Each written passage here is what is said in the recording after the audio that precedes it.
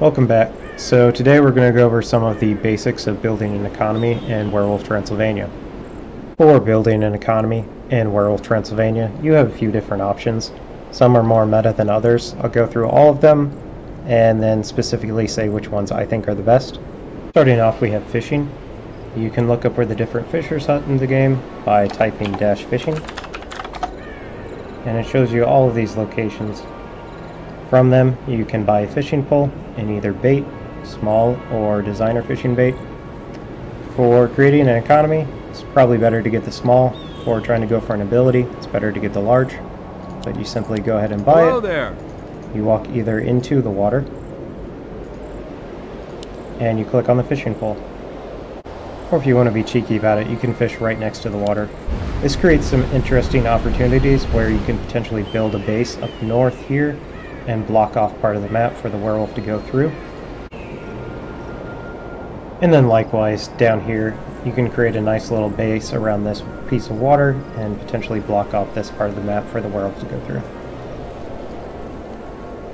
Fishing is probably one of the best money makers in the game, right next to mining, and I use it in pretty much every other game I play.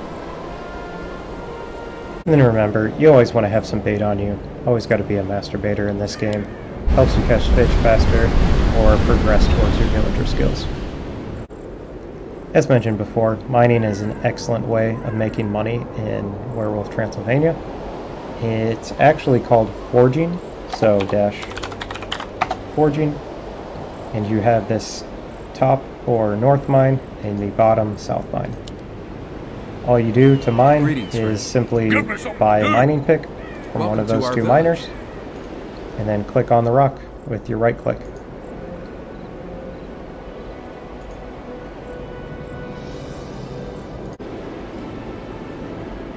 It's important to pay attention while you're mining. Sometimes your villager will be forced back towards the center of the map. All you have to do is just create a new command and right click on the rocks again. Also, while you're mining, you can't do anything else. So if somebody comes up and has daggers and is about to kill you, you do not want to click on a rock.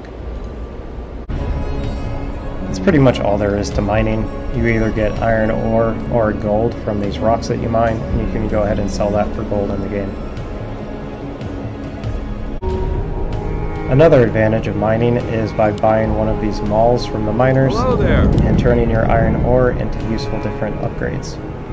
I typically only go towards the armor and sword upgrades, but there's also a sight increase and Clockwork Villager, which just spawns a copy of your villager that you can use to try to trick people with.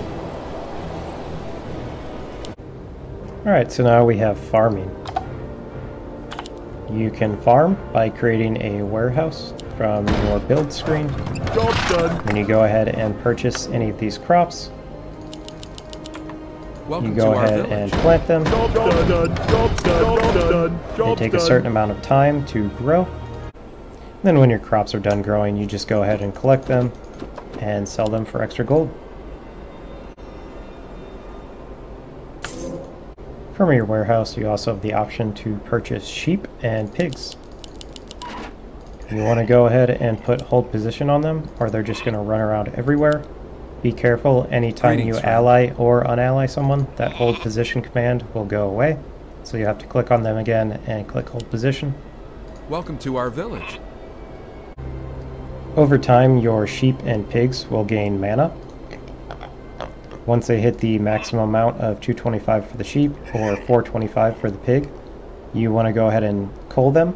You can call them at any time, giving you a certain amount of gold, so however many mana they had, in this case 83, this one will be 88.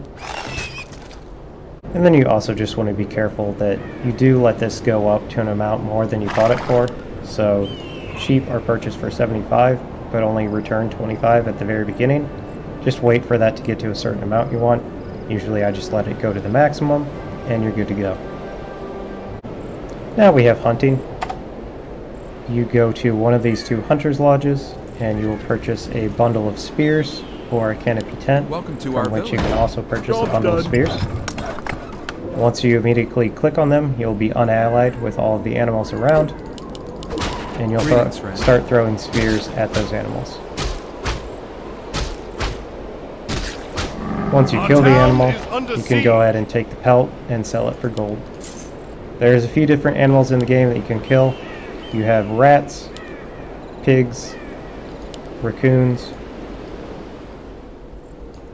Eventually you'll have bears, Our town is under siege. wolves, rabbits, and then packs of deer. A really useful way of increasing the amount of animals that you can kill is by purchasing this animal lure from either the canopy tent or the hunter's lodge. Welcome to our You village. simply left click on it to use it, and all of the animals in a certain area will come to your location. Greetings, friend. The next money making method is merchanting. You can merchant by creating a lighthouse in any of this water area except Job's the done. top of this waterfall. You simply go to your lighthouse, send out a ship, and it will return in a set amount of time with more gold than you sent it out for. If you want to increase the amount of gold you get from your ships, you simply go to your plantation and research trade route. You can then go back to your lighthouse, research silk sails, and that'll increase the profit you get from any of those ships that you send out. Another way of making money with merchanting is researching this port royalties. Research complete.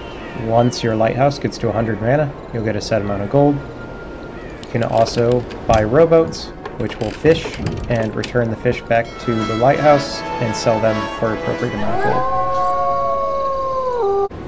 Finally, we have arguably the least leastful way of making money in this game, and that's foraging. So a bunch of acorns will spawn around the castle in the middle of the map. You can go ahead and just click them up, and they sell for 50 gold each. There's not too too much to it, but if you have your dog around the area while you're killing animals, you can go ahead and pick them up, sell them to this village market, and it's another quick 50, 100 gold. So that's pretty much all there is to it. There's another few items around the game that you can collect and sell for gold, but those are more hidden treasures than actual items that spawn regularly.